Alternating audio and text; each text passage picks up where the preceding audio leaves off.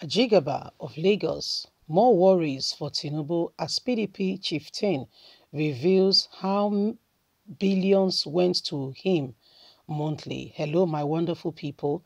More exposition and more exposure of um, Ashiwaju Bola Tinubu uh, comes to light and um, this is not looking good for him because this is showing to the whole world how selfish this man is and what exactly do they do with all the money is a question we should be asking. What exactly do they do with all the money? You know, an APC chieftain has revealed how much goes to Ashiwaju Bola Tinubu every month from Lagos State. Why there are people who are honestly suffering and dying. And most of these people do not even give back to the society. All they do is their own political affluence and their and their group and their you know circle, forgetting about others. This is rather very unprecedented. Please don't forget to give us a thumbs up. Subscribe if this is your first time. Let's get all the details. What exactly is happening? More trouble for the Ajigaba of Lagos, Tinubu, as APC chieftain reveals how billions went to him monthly. According to reports reaching the decks of the park tracker from Sahara reporters, People Democratic Party chieftain Bode George has accused the stewards of the ruling of Progressive Congress, Ashiwaju Bola Tinubu, of receiving 9 billion naira monthly from internal, internal generated revenue account of Lagos State. Bode George made this known while being interviewed by Yoruba TV he stated that the monthly flow out from revenue and momentary corruption is the stolen is the sole reasons why Lagos State isn't growing rapidly.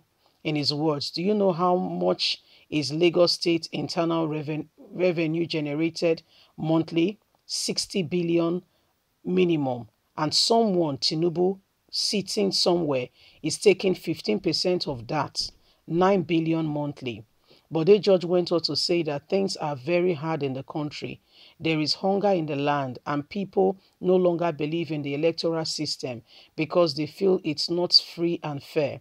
He stated that the will of the people isn't respected and that's not who they voted for, who they do not vote for become the winner and begin to lead them. Nigerians are very angry. Yet one person called Tinubu will sit where he is and collect 9 billion naira every month aside other money that comes to him.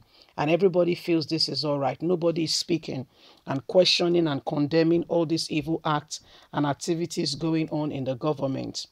People are suffering. Children are not in school. Hunger market women barely trying to make ends meet. Yet Ashwaju Bola Tinubu collects 15% of the internal revenue generated in Lagos State every month 9 billion naira is what he takes from the 60 billion generated monthly. Hello, my hello, my people. You heard it. That is Ashiwaju Bola Tinubu. What he has been doing, how he collects 9 billion naira for himself and leave others to scrap for the rest. Don't forget that the governor will also say he's the governor. He will collect money. Don't forget that every other person will come up and say, ah, me too, I will collect my money. Do you see what is good? Do you see do you see where this is going?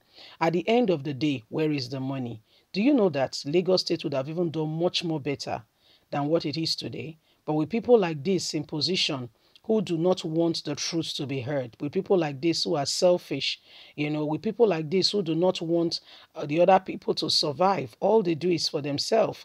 All they do. And still he wants to be the president of the nation. After 9 billion naira monthly, his wife is the has been a senator now. I don't know what she has done to the Lagos Central. She's been there now 10 years. They just keep renewing the contract, yes, because there is no election.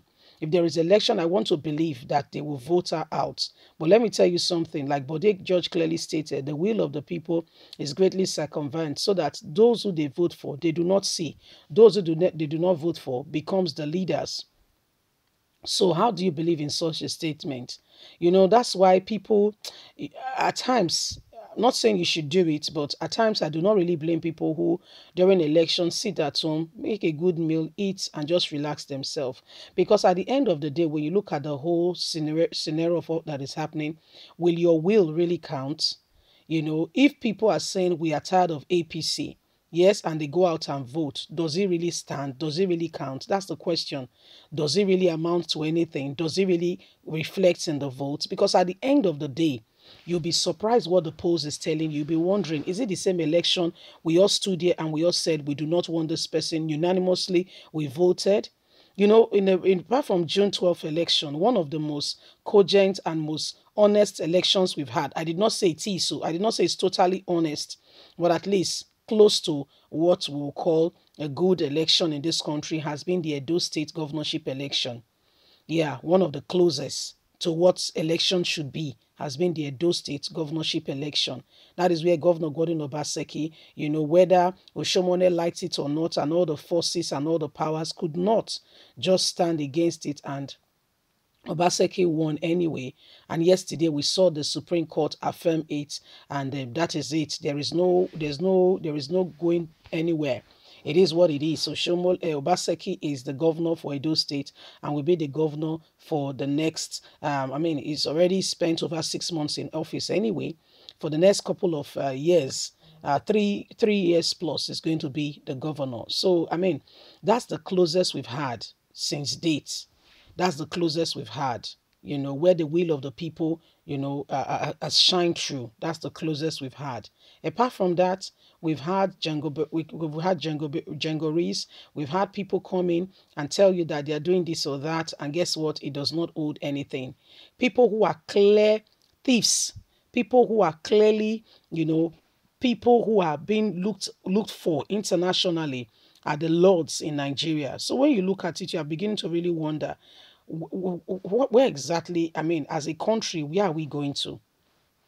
In case you are not aware, uh, Tinubu's daughter is the one collecting revenue in the market.